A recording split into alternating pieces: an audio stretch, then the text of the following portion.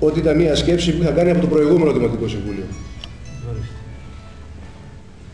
Περίμενα όμως μήπως τα πράγματα άλλαζαν με το νέο Δημοτικό Συμβούλιο.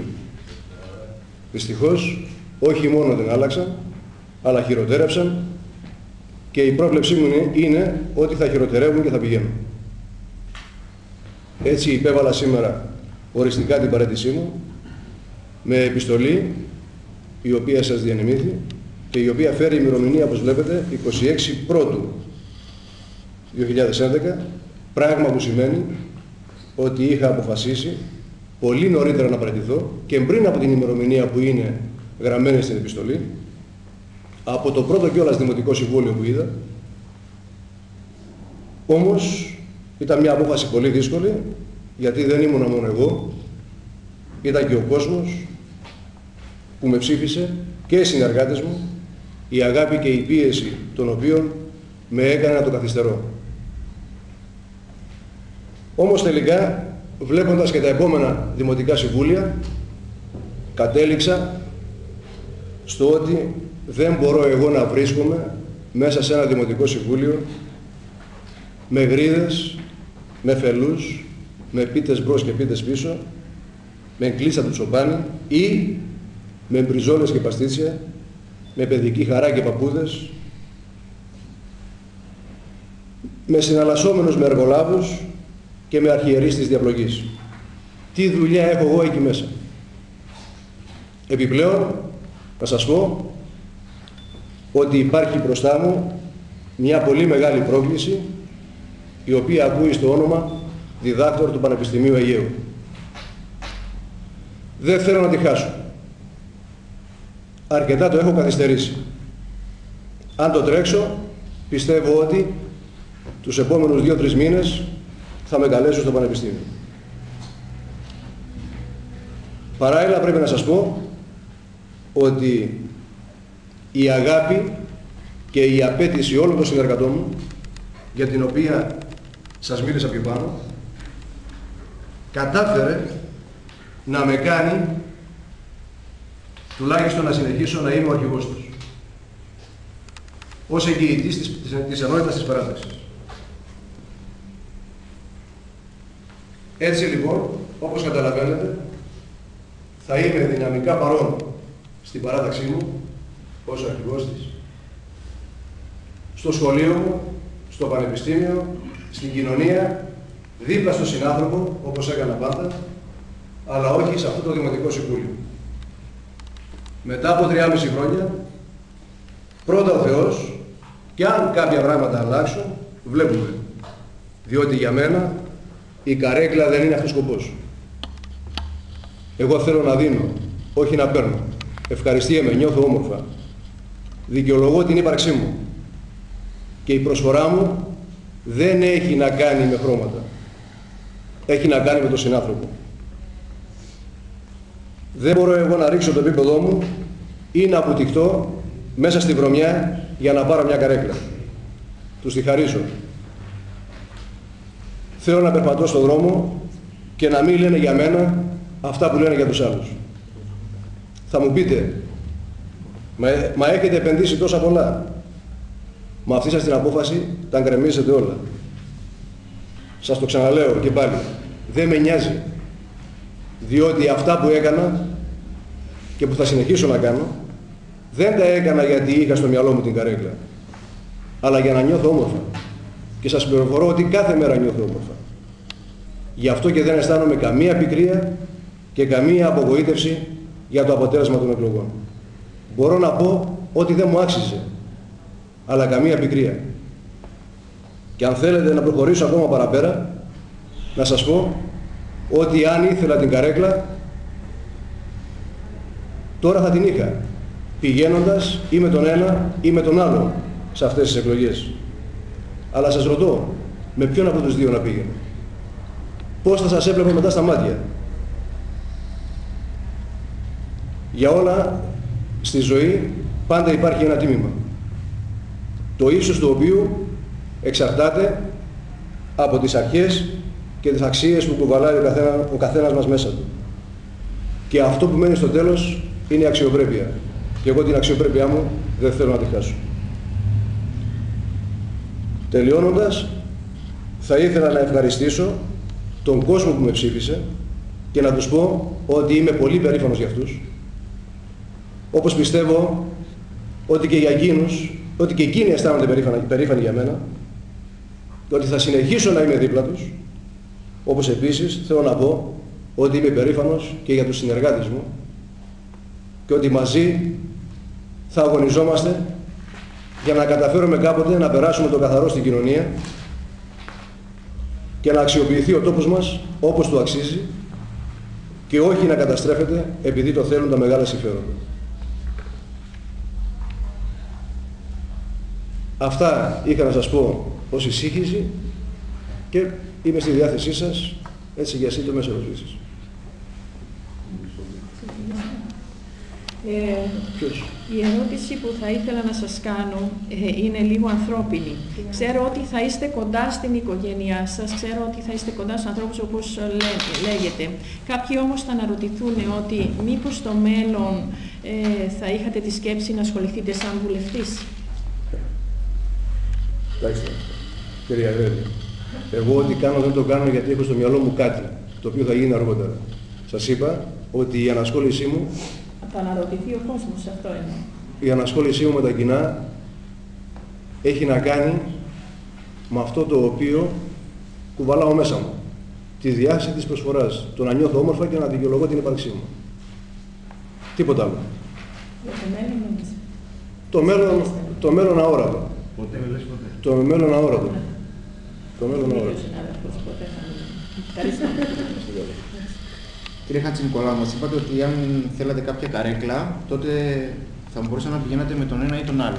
Σας έγινε κάποια συγκεκριμένη πρόταση, είτε από τον ένα είτε από τον άλλο. Εντάξει, για να λέω, προφανώς και κάτι θα έχει προηγηθεί. Λοιπόν, ήταν άπειρες οι ενοχλήσεις που είχα και από τις δύο για να πάω είτε με τον ένα είτε με τον άλλο. Και πριν τις εκλογές και μετά την πρώτη Κυριακή. Και σας είπα, με ποιον από τους δύο. Για πέστε μου. Και πώς θα σας έβλεπα στα μάτια μετά.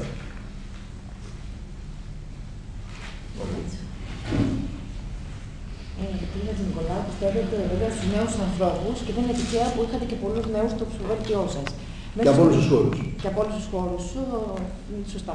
Ε, μέσα στο Δημοτικό Συμβούλιο, με την παρούσα σύνθεσή του, ε, υπάρχουν και πολλοί νέοι άνθρωποι τόσο από την παράταξη της μείζωνας ε, της πλειοψηφίας, όσο και στη μείζωνα μειοψηφία και στην Ελλάσσονα, στις ε, δύο, ε, τρεις ε, παρατάξεις. Με την αναφορά σας στο επίπεδο του Δημοτικού Συμβουλίου σήμερα, ε, βεβαίως δείχνετε ότι όλους τους θεωρείτε το ίδιο, όλους τους βάζετε στο ίδιο σακί που λέμε. Ε, βλέπετε πραγματικά να υπάρχουν ομοιότητες και όλοι να συμπεριφέρονται εξίσου ενδεχομένως ε, όχι με την προσήκουσα έτσι διοντολογία στο Δημοτικό Συμβούλιο. Εγώ δεν μίλησα για επίπεδο ε, στελεχών του Δημοτικού Συμβουλίου, μίλησα και αναφερόμουν σε αυτό σε επίπεδο επικεφαλής, σε επίπεδο αρχηγών του Δημοτικού Συμβουλίου. Μέσα λοιπόν σε αυτό το επίπεδο εγώ δεν μπορώ να μείνω. Δεν είχε μομφή για τους νέους συναδέλφους οι οποίοι στο Δημοτικό Συμβούλιο, αλλά η μορφή είναι στο επίπεδο, στο υψηλότερο επίπεδο, στο επίπεδο των αρχηγών, των επικεφαλής. Επιτρέψτε μου να πω όμως, συμπληρώσω ότι και την προηγούμενη θητεία του Δημοτικού Συμβουλίου, το επίπεδο, αν όχι το ίδιο, χειρότερο θα λέγαμε ήταν, δεν παρατηρήθηκε. Χειρότερο πιστεύω πως γίνεται τώρα, αλλά εν πάση περιπτώσει σας είπα και στην αρχή της εισηγησής μου ότι την πρώτη σκέψη την είχα κάνει από το προηγούμενο Δημοτικό Συμβούλιο.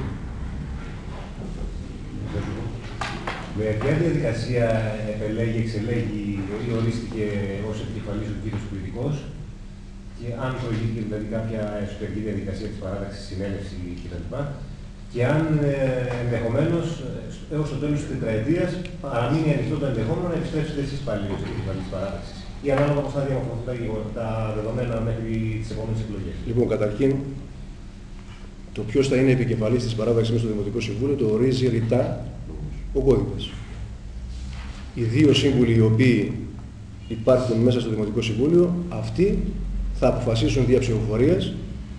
Αυτό είναι το τυπικό. Ποιος θα είναι επικεφαλής. Εμείς όμως ομόφωνα, ως παράταξη, αποφασίσαμε ότι επικεφαλής της παράταξης του Δημοτικού Συμβούλου και εκπρόσωπος της παράταξης του Δημοτικού Συμβούλου θα είναι ο Γιάννης Οκρατικός.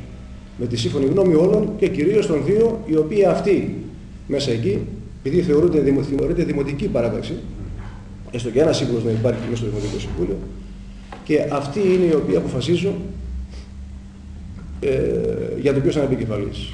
Από εκεί και πέρα σας είπα ότι ε, με απέτηση και με πίεση των συνεργατών μου παραμένω ο αρχηγός τους, ο πρόεδρος της παράταξης, για χάρη της ενότητας, διότι πιστεύω ότι η παράταξη αυτή αξίζει.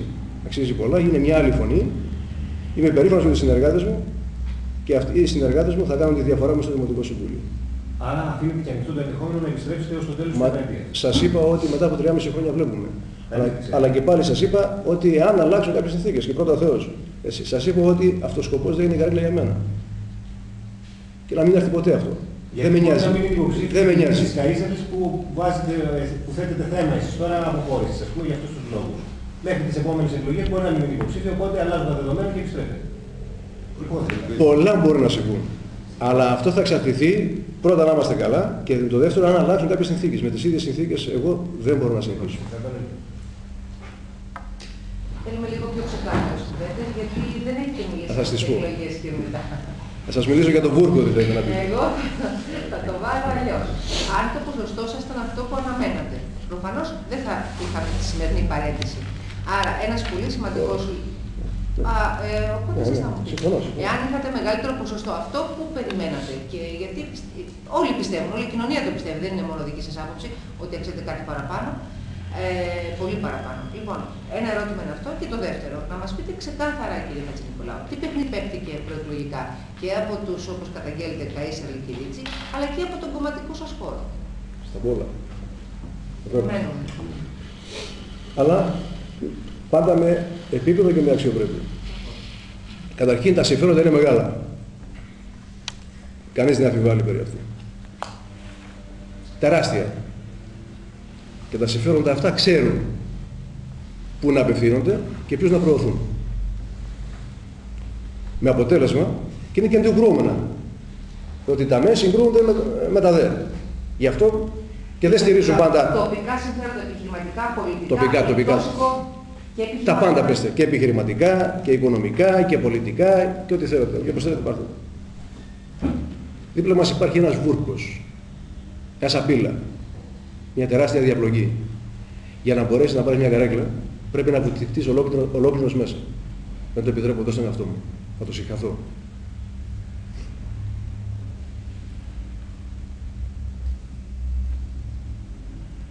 Γι' αυτό ούτε τάξαμε, ούτε επιταγές εξαργυρώσαμε, ούτε λάσπη ρίξαμε, ενώ θα μπορούσαμε να το κάνουμε πράξη. Μπορώ εγώ, για παράδειγμα, να παίζω με τον πόνο των νέων ανθρώπων και να τάζω σε χίλια άτομα διορισμό. Μπορώ εγώ ένα περίπτερο στην πόλη της Κόνα να τον τάζω σε 200 άτομα και ένα άλλο στο μαστιχάρι σε 150. Να πληρώνω επιταγές και να τακτοποιώ υποχρεώσεις για να με ψήσουν ή κάποιοι να μπουν μέσα στο ψηφοδέλτιό μου; Να, υπό, να υπόσχομαι ότι μόλις αναλάβω θα τακτοποιήσω εκκρεμότητες; Να μοιράζω πενιντάρικα και εκατοστάρικα ή γεμάτες σακούλες και όταν μάλιστα ανακαλύπτω ότι αυτός που την πήρε δεν ψηφίζει εδώ να του την παίρνω πίσω. Είναι δυνατόν να συμβαίνουν αυτά από μένα ή από την παράταξή μου; Να, να φτιάχνω δρόμους ανήμερα των εκλογών; Μπορώ να τα κάνω εγώ αυτά; Ή η παράταξή μου; Και να σας πω για τα 50 και για τα, τα εκατοστάρικα ένα άλλο τραγελαφικό. Και ένα άλλο που δείχνει το μέγεθος της απειλής και του πάτου που έχουμε φτάσει. Να πηγαίνει συνεργάτης μου στη γειτόνισσα να την επισκεφτεί, να της δίνει, να της δώσει ψηφοδέλτιο και να βρίσκει κάτω από την πόρτα φάκελο, να προεξέχει, να τον ανοίγει, να βλέπει μέσα μονοσταυρία συγκεκριμένου υποψηφίου και 50 ευρώ, να, το, να κάνει το λάθος, να το φέρνει στο εκλογικό και να πάει το 50 στους καφέδες. Γιατί δεν το καταγγείλατε. Το έφερε σαν πιστήριο. Δεν το καταγγείλατε. του, στο Λοιπόν. Σαντονέ.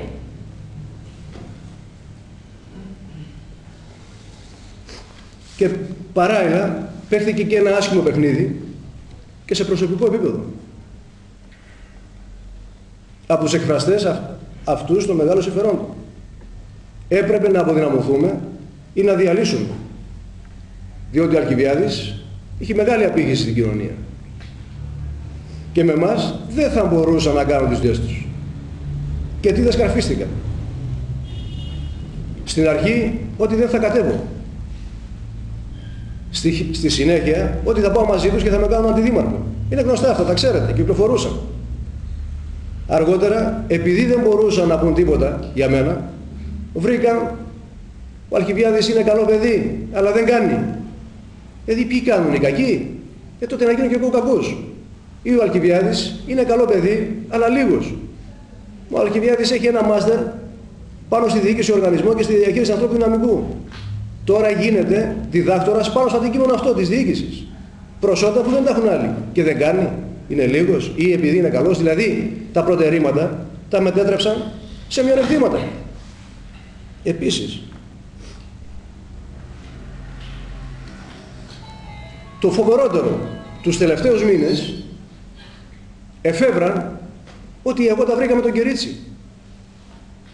Δώσαμε τα χέρια. Ψηφίστε τον, Κα- τον, τον Καΐσαλη για να φύγει ο Κυρίτσης. Διότι ο Αλκιβιάδης τα βρήκε με τον Κυρίτσι.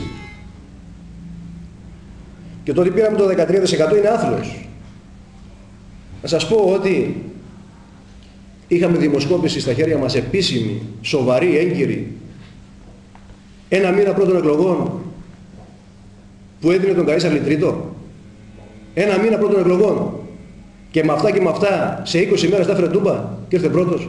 Ήταν πρώτος, ο- ήταν πρώτος ο Κυρίτσης. Με το ποσοστό αυτό που πήρε, το 36,5 στη δημοσκόπηση. Εμείς δεύτεροι με 25. Και ο κύριος Καΐσαλης τρίτος με 20. Ειδικά στην πολιτικό. Και με αυτά και με αυτά ήρθαν τα πράγματα τούμπα. 20 μέρες πρώτων εκλογών.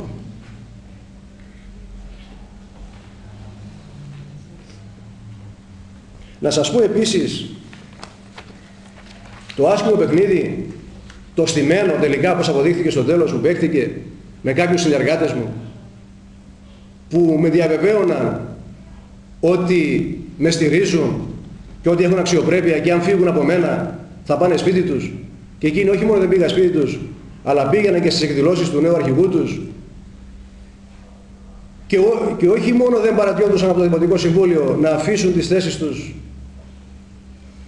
για τους επιλαχόντες αλλά μ' άφηναν εμένα να, να φέρομαι μόνος μου και παρετήθηκαν, δεν, δεν είχαν κάτι στοιχειώδη ευαισθησία να παρετηθούν και παρετήθηκαν πότε; Όταν έφυγαν οι κάμερες από το Δημοτικό Συμβούλιο